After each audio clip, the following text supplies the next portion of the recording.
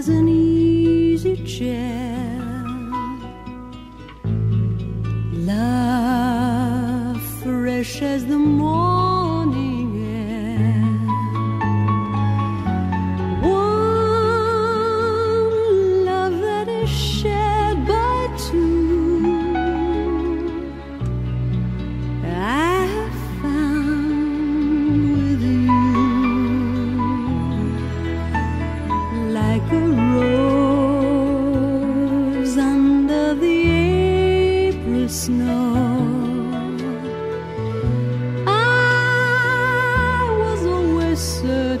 Love would grow.